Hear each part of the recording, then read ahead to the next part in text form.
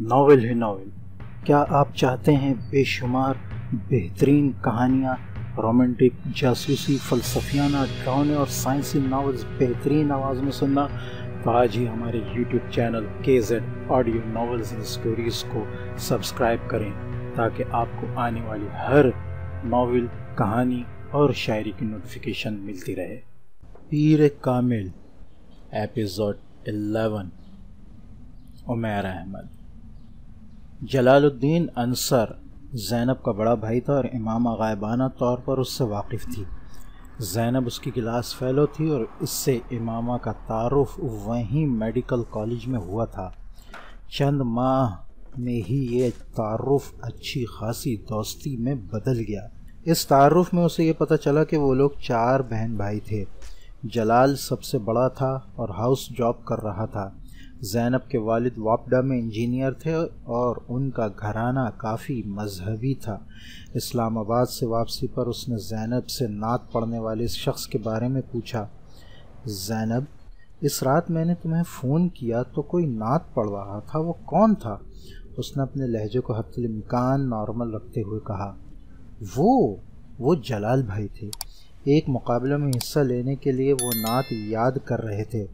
Phone corridor में है और उनके कमरे का दरवाज़ा खुला था, इसलिए आवाज़ तुम तक पहुँच गई, जैनब ने तफसील से बताया। बहुत अच्छी आवाज़ है उनकी। हाँ आवाज़ तो बहुत अच्छी है उनकी। किरत तो नाच से भी ज़्यादा खूबसूरत करते हैं।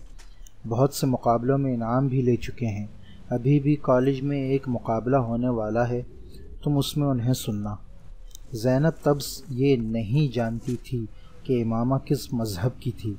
वो जिस तरह पर्दे का ख्याल रखती थी, जैनब का ख्याल था कि वो किसी मजहबी घराने से ताल्लुक़ रखती है।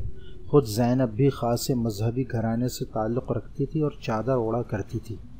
दो तीन दिन के बाद इमामा जलाल अंसर की नात सुनने के लिए अपनी फ्रेंड्स को बताए बग़ैर क्लास बंक करके नातों के इस मुकाबले में चली गई थी। जलाल अंसर को इस दिन पहली बार उसने देखा था। कंपेयर ने जलाल अंसर का नाम पुकारा और इमामा ने तेज़ होती हुई धड़कनों के साथ जैनब से मुशाबत रखने वाले आम सी शक्ल, सूरत और दाढ़ी वाले एक चौबीस पच्चीस साल लड़के को स्टेज पर चढ़ते देखा। स्टेज पर सीढ़ियाँ चढ़ने से लेकर रॉस्ट्रम के पीछे आकर खड़े होने तक इमामा ने एक बार भी अपनी नज़र जलाल अंसर के चेहरे से नहीं हटाई। उसने उसे सीने पर हाथ बांधते और आँखें बंद करते देखा। कुछ नहीं माँगता शाहों से ये शैदा तेरा। इसकी दौलत है फ़कत नक्श कफ़े पा तेरा। इमामों को अपने पूरे वजूद में एक लहर सी दौड़ती महसूस हुई। हाल में मुकम्मल खामोशी थी और सिर्फ़ उसकी खूबसूरत आवाज़ गूंज रही थी। वो किसी सहर ज़दा मामूल की तरह बैठी उसे सुनती रही। उसने कब नात ख़त्म की, कब वो स्टेज से उतर कर वापस हुआ, मुकाबले का नतीजा क्या निकला? इसके बाद किस किस ने नात पढ़ी? किस वक्त सारे स्टूडेंट वहाँ से गए और किस वक्त? हाल खाली हो गया, मामा को पता ही नहीं चला। बहुत देर के बाद उसे एकदम होश आया था। इस वक्त अपने इर्द गिर्द देखने पर उसे एहसास हुआ कि वह हॉल में अकेली बैठी थी। मैंने कल तुम्हारे भाई को नाक पढ़ते सुना, ये मामा ने अगले दिन जैनब को बताया। अच्छा उन्हें पहला इनाम मिला है। जैनब ने उसकी बात पर मुस्कुरा कर उसे देखा। बहुत खूबसूरत नात पढ़ी थी उन्होंने। कुछ देर की खामोशी के बाद इमामा ने फिर इस मौजू पर बात की। हाँ वो बचपन से नातें पढ़ते आ रहे हैं। इतने क़रात और नात के मुकाबले जीत चुके हैं कि अब तो उन्हें ख़ुद भी उनकी तादाद याद नहीं होगी, जैनब ने तफाखुर से कहा। उनकी आवाज़ बहुत खूबसूरत है, इमामा ने फिर कहा। हाँ खूबसूरत तो है, मगर सारी बात इस मोहब्बत और अकीदत की है जिसके साथ वो नात पढ़ते हैं। उन्हें नबी करीम सल्लल्लाहु अलैहि वसल्लम से इश्क है, इतनी मोहब्बत के जिसकी कोई हद नहीं। क़रात और नात के अलावा उन्होंने कभी कोई और चीज़ नहीं पढ़ी। हालाँकि स्कूल और कॉलेज में उन्हें बहुत मजबूर किया जाता रहा, मगर उनका एक ही जवाब होता, कि मैं जिस ज़बान से हज़रत मोहम्मद सल्लल्लाहु अलैहि वसल्लम का कसीदा पढ़ता हूँ, उस ज़बान से किसी और शख्स का कसीदा नहीं पढ़ सकता। मोहब्बत तो हम भी हुजूर अलैहि वसल्लम से करते हैं, मगर जैसी भाई करते हैं, वैसी मोहब्बत तो हम में से कोई भी नहीं कर सकता। पिछले दस सालों में एक बार भी उन्होंने नमाज़ कज़ा नहीं की। हर माह एक कुरान पढ़ते हैं। तुम तो नात की तारीफ़ कर रही हो, अगर उनसे तलावत सुन लो तो वो बड़े फ़ख्र से बता रही थी। मामा चुपचाप उसे देख रही थी। उसने जैनब से इसके बाद कुछ नहीं पूछा। अगले दिन वो सुबह कॉलेज जाने के लिए तैयार होने के बजाय अपने बिस्तर में घुसी रही। जवेरिया ने खासी देर के बाद भी उसे बिस्तर से बरामद ना होते देख कर झिझोड़ा। उठ जाओ मामा, कॉलेज नहीं जाना क्या? देर हो रही है। नहीं, आज मुझे कॉलेज नहीं जाना। इमामा ने दोबारा आँखें बंद कर ली। क्यों? जवेरिया कुछ हैरान हुई। मेरी तबीयत ठीक नहीं है इमामा ने कहा। आँखें तो बहुत सुर्ख हो रही हैं तुम्हारी। रात को सोई नहीं तुम क्या? नहीं, नींद नहीं आई। और प्लीज़ अब मुझे सोने दो। इमामा ने उसके किसी और सवाल से बचने के लिए कहा। जवेरिया कुछ देर उसे देखते रहने के बाद अपना बैग और फोल्डर उठाकर बाहर निकल गई। उसके जाने के बाद इमामा ने आँखें खोल दी ये बात ठीक थी कि वो सारी रात सो नहीं सकी थी और उसकी वजह जलाल अंसर की आवाज़ थी। वो अपने जहन को इस आवाज़ के अलावा और कहीं भी फोकस नहीं कर पा रही थी। जलाल अंसर? उसने जेर लब इसका नाम दोहराया। आखिर इसकी आवाज़ क्यों मुझे इस कदर अच्छी लग रही है कि मैं मैं इसे अपने जहन से निकाल नहीं पा रही? उसने उलझे हुए जहन के साथ बिस्तर से निकलते हुए सोचा। वो अपने कमरे की खुली हुई खिड़की में आकर खड़ी हो गई। मेरे भाई की आवाज़ में सारी तासीर हज़रत मोहम्मद सल्लल्लाहु अलैहि वसल्लम के इश्क की वजह से है। इसके कानों में जैनब की आवाज़ गूंजी। आवाज़ में तासीर और इश्क? उसने बेचैनी से पहलू बदला। सोज कदास लोच, मिठास, आखिर क्या था इस आवाज़ में? वो उठ कर खिड़की से बाहर देखने लगी। दुनिया इश्क अल्लाह से शुरू होती है और इश्क रसूल पर ख़त्म हो जाती है। उसे एक और जुमला याद आया। इश्क रसूल सल्लल्लाहु अलैहि वसल्लम? उसने हैरानी से सोचा, इश्क रसूल या इश्क मोहम्मद? एकदम उसे अपने एक अजीब सा सन्नाटा उतरता हुआ महसूस हुआ। उसने सन्नाटे और तारीकी को खोजना शुरू किया। अपने अंदर सीढ़ी दर सीढ़ी उतरना शुरू किया, उसे कहीं कोई रोशनी नज़र नहीं आई। आखिर वो क्या चीज़ होती है जो हज़रत मोहम्मद सल्लल्लाहु अलैहि वसल्लम का नाम सुनने पर लोगों की आँखों में आँसू और लबों पर दरूद ले आती है? अकीदत, इश्क, मोहब्बत, इनमें से क्या है? मुझे कुछ में क्यों महसूस नहीं होता? मेरी आँखों में आँसू क्यों नहीं आते? मेरे होठों पर दर्द क्यों नहीं आता? मेरी आवाज़ में तासीर वो लम्हा भर के लिए रुकी। उसने जेर लब पढ़ा। कुछ नहीं माँगता शाहों से ये शैदा तेरा। इसकी दौलत है फ़क, नक्श कफ़े पा तेरा। इसे अपनी आवाज़ भर्राई हुई महसूस हुई। शायद अभी जागी हूँ। इसलिए आवाज़ ऐसी है। उसने अपना गला साफ़ करते हुए सोचा। इसने एक बार फिर पढ़ना शुरू किया। कुछ नहीं माँगता, वो एक बार फिर रुक गई। इस बार उसकी आवाज़ में लर्जिश थी। उसने दोबारा पढ़ना शुरू किया। कुछ नहीं माँगता हूँ शाहों से ये शैदा तेरा। खिड़की से बाहर नज़रें मरकूज रखते हुए उसने लरजती भर्राई आवाज़ और कांपते होठों के साथ पहला मिसरा पढ़ा, फिर दूसरा मिसरा पढ़ना शुरू किया और रुक गई। खिड़की से बाहर खला में घूरते हुए वो एक बार फिर जलाल अंसर की आवाज़ अपने कानों में उतरती महसूस कर रही थी। बुलंद, साफ़, वाजे और आज़ान की तरह दिल में उतर जाने वाली मुक़द्दस आवाज़। उसे अपने गालों पर नमी महसूस हुई। एकदम वो अपने होश आवास में आई पता चला कि वो रो रही थी। कुछ देर जैसे बेयकीनी के आलम में वो अपने दोनों हाथों की उंगलियाँ, दोनों आँखों पर रखे दम बखुद खड़ी रही। उसने अपने आप को बेबसी की इंतहा पर पाया। आँखों पर हाथ रखे वो आहिस्ता आहिस्ता घुटनों के बल वहीं ज़मीन पर बैठ गई और उसने फूट फूट कर रोना शुरू कर दिया। इंसान के लिए सबसे मुश्किल मरहला वो होता है जब उसका दिल किसी चीज़ की गवाही दे रहा हो, मगर उसकी ज़बान खामोश हो जब उसका दिमाग चिल्ला चिल्ला कर किसी चीज़ की सदाकत का इकरार कर रहा हो, मगर उसके होंठ साकित हों, इमाम हाशिम की भी अपनी ज़िंदगी इसी मरहले पर आन पहुँची थी। जो फ़ैसला वो पिछले दो तीन सालों से नहीं कर पा रही थी, वो फ़ैसला एक आवाज़ ने चंद दिनों में करवा दिया था। ये जाने, ये खोजे, ये परखे बग़ैर के आखिर लोग क्यों हज़रत मोहम्मद सल्लल्लाहु अलैहि वसल्लम से इतनी अकीदत रखते हैं। आखिर क्यों इश्क़ रसूल सल्लल्लाहु अलैहि वसल्लम की बात की जाती है? उसने इतने साल अपने नबी के कसीदे सुने थे। इस पर कभी रिक्कतारी नहीं हुई थी। कभी इसका वजूद मोम बनकर नहीं पिघला था। कभी इसे किसी पर रश्क नहीं आया था। मगर हर बार हज़रत मोहम्मद सल्लल्लाहु अलैहि वसल्लम का नाम पढ़ते, देखते और सुनते वो अजीब सी कैफियत का शिकार होती थी। हर बार, हर दफ़ा उसका दिल इस नाम की तरफ़ खींचा चला आता था और सबीहा के पास न जाने के उसके सारे इरादे भाप बनकर उड़ गए थे। जलाल अंसर की आवाज़ तारीकी में नज़र आने वाले जुगनू की तरह थी, जिसके ताकुब में वो बिना सोचे, समझे चल पड़ी थी। मैं तुझे आलम अशिया में भी पा लेता हूँ। लोग कहते हैं कि आलम बाला तेरा।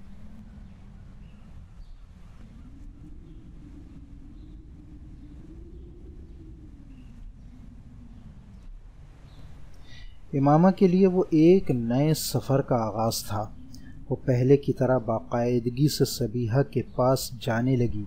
इन इज्तमात में शिरकत ने उसे, अगर एक तरफ़ अपने फ़ैसले पर इस्तकामत बख्शी तो दूसरी तरफ़ इस बाकी मानदा शुभात को भी दूर कर दिया। मज़हब तब्दील करने का फ़ैसला इमामा के लिए कोई छोटा या मामूली फ़ैसला नहीं था। इस एक फ़ैसले ने उसकी ज़िंदगी के हर मामले को मुतासर किया था। वह बसजत से शादी नहीं कर सकती थी क्योंकि वह गैर मुस्लिम था। उसे जल्द या देर अपने घर वालों से अलीहदगी की भी इख्तियार करनी थी क्योंकि वो अब ऐसे किसी माहौल में रहना नहीं चाहती थी जहाँ इस्लाम, शायर और अकायद में इतने धड़ल्ले से तहरीफ़ात की जाती थी। वो इस पैसे के बारे में भी शकूक का शिकार होने लगी थी जो उसे अपनी तालीम और दूसरे अखराज के लिए हाशिम मुबीन की तरफ़ से मिलते थे। चंद साल पहले तक परियों की कहानी नज़र आने वाली ज़िंदगी एकदम एक ड्राउन ख्वाब में तब्दील हो गई थी, और ज़िंदगी के इस मुश्किल रास्ते का इंतखब उसने ख़ुद किया था। उसे बाज़ दफ़ा हैरत होती थी कि उसने इतना बड़ा फ़ैसला किस तरह कर लिया। उसने अल्लाह से इस्तकामत ही मांगी थी और उसे इस्तकामत से नवाजा गया था। मगर वो अभी इतनी कम उम्र थी कि खदशात और अंदेशों से मुकम्मल पीछा छुड़ा लेना उसके लिए मुमकिन न था। ए मामा, तुम फ़िलहाल अपने वालदेन को मज़हब की तब्दीली के बारे में ना बताओ। अपने पैरों पर खड़ी हो जाओ। इस वक्त न सिर्फ़ तुम आसानी से असरत से शादी से इनकार कर सकती हो, बल्कि उन्हें अपने मज़हब की तब्दीली के बारे में भी बता सकती हो। सबिया ने एक बार उसके खदशात सुनने के बाद उसे मशवरा दिया, मैं इस पैसे को अपने ऊपर ख़र्च करना नहीं चाहती जो मेरे बाबा मुझे देते हैं। अब जबकि मैं जानती हूँ कि मेरे वालिद एक झूठे मज़हब की तबलीग कर रहे हैं, ये जायज़ तो नहीं है कि मैं ऐसे शख्स से अपने अखराज के लिए रकम लूँ। तुम ठीक कहती हो, मगर तुम्हारे पास फ़िलहाल कोई दूसरा रास्ता नहीं है। बेहतर है तुम अपनी तालीम मुकम्मल कर लो, इसके बाद तुम्हें अपने वालिद से भी कुछ नहीं लेना पड़ेगा सबिया ने उसे समझाया। सबिया अगर उसे ये राह ना दिखाती, तब भी मामा इसके अलावा और कुछ नहीं कर सकती थी। इसमें फ़िलहाल इतनी हिम्मत नहीं थी कि वो अपनी ज़िंदगी की सबसे बड़ी ख्वाहिश छोड़ देती।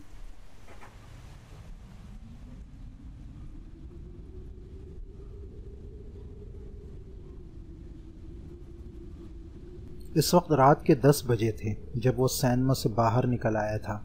इसके हाथ में अब भी पॉपकॉर्न का पैकेट था। और वो किसी गहरी सोच में डूबा हुआ पॉपकॉर्न खाते हुए सड़क पर चल रहा था। आधा घंटा तक सड़कें नापते रहने के बाद उसने एक बहुत बड़े बंगले की घंटी बजाई थी। साहब खाना लगाऊँ? लाउंज में दाखिल होने पर मुलाजिम ने उसे देखकर पूछा। नहीं, उसने नफ़ी में सर हिलाते हुए कहा। दूध? नहीं। वो रुके बगैर वहाँ से गुज़रता चला गया। अपने कमरे में दाखिल होकर उसने दरवाज़ा बंद कर लिया। कमरे की लाइट ऑन करके वो कुछ देर बेमकसद इधर उधर देखता रहा, फिर बाथरूम की तरफ़ बढ़ गया। शेविंग कट निकाल कर उसके अंदर से एक रेज़र ब्लेड निकाल लिया और उसे लेकर बेडरूम में आ गया। अपने बेडरूम में बैठकर उसने साइड टेबल पर पड़ा हुआ लैंप जलाया और बेडरूम की ट्यूबलाइट बंद कर दी।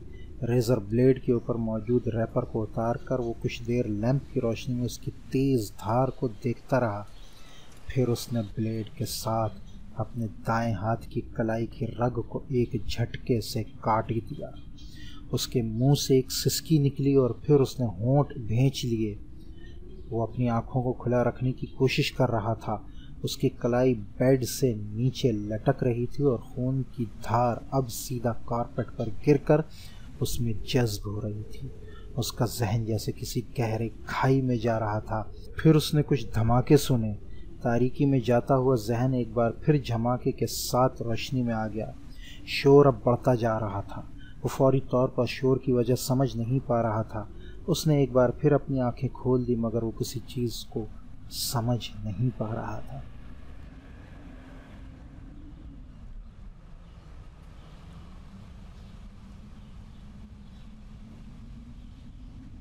वो सो रही थी, जब हड़बड़ा कर उठ बैठी।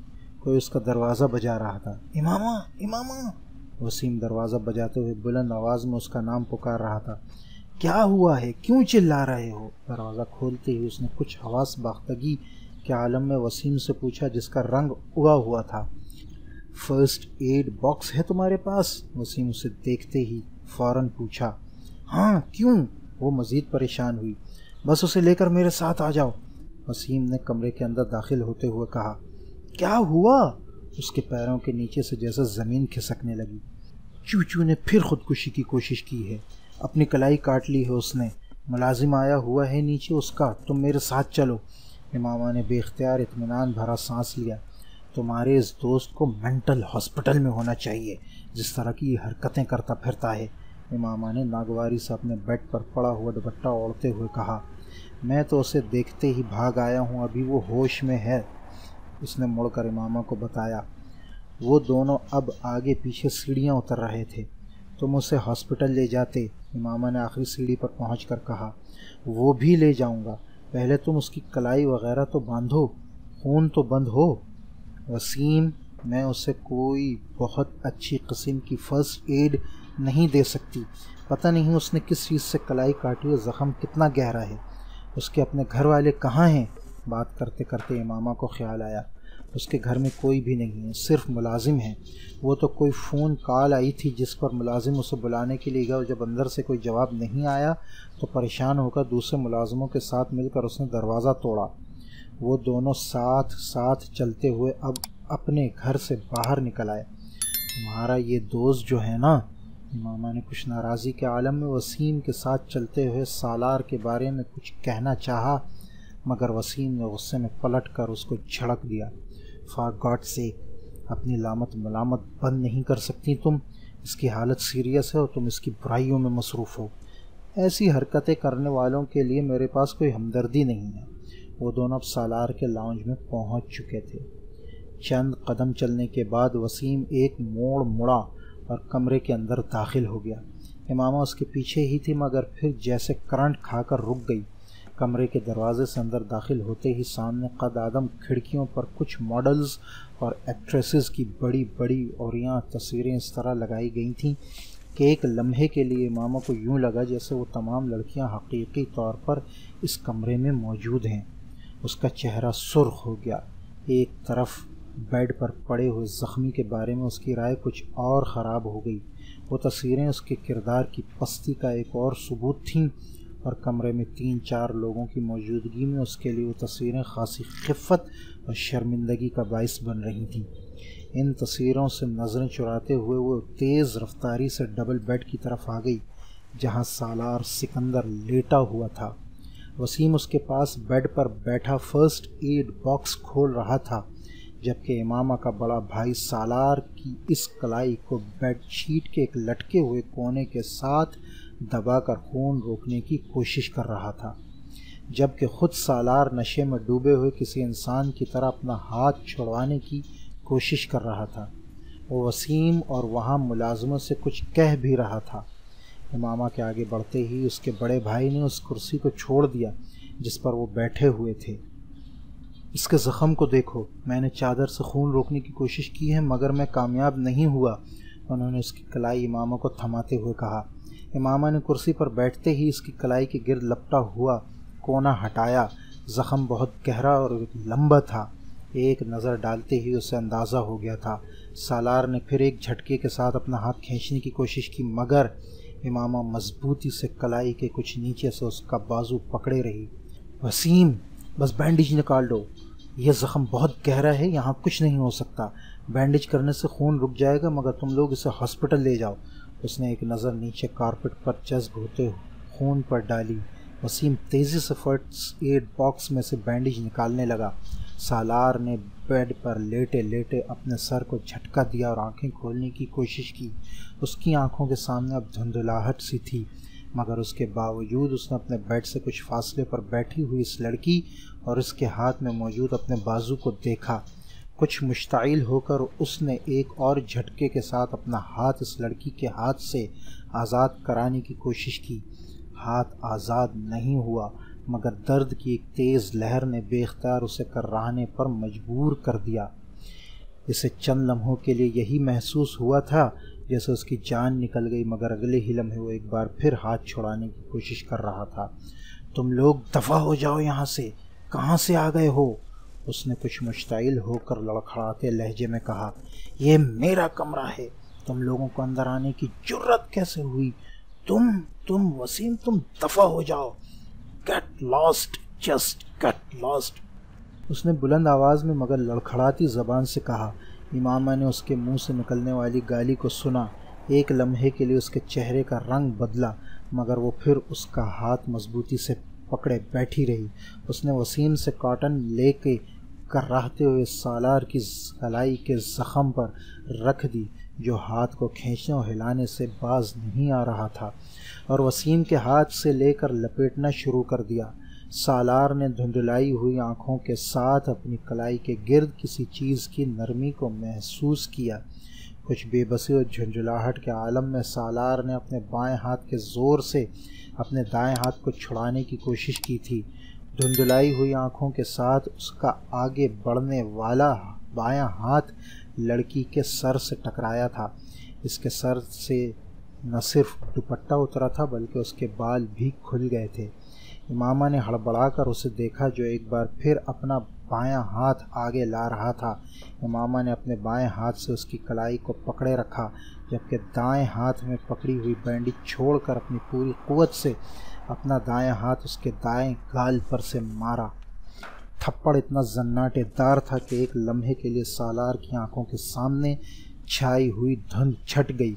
खुले मुँह और आँखों के साथ दम बहुत इसने इस लड़की को देखा था जो सुर्ख चेहरे के साथ बुलंद आवाज़ में उससे कह रही थी अब अगर तुम हिले तो मैं तुम्हारा दूसरा हाथ भी काट दूँगी। सुना तुमने? सालार ने इस लड़की के आकब में वसीम को कुछ कहते सुना, मगर वो कुछ समझ नहीं पाया।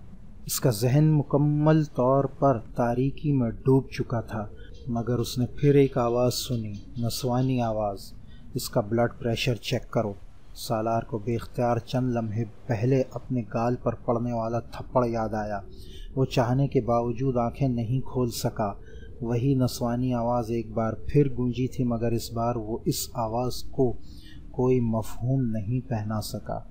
इसका जहन मुकम्मल तौर पर तारीकी में डूब गया था।